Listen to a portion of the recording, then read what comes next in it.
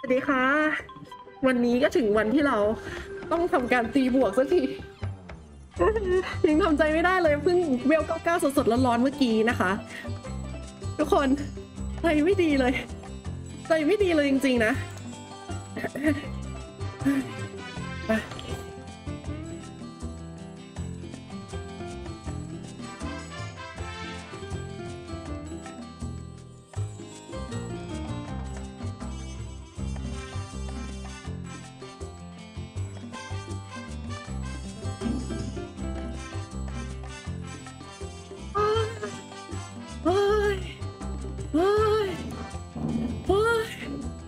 มันติดอยู่แล้ว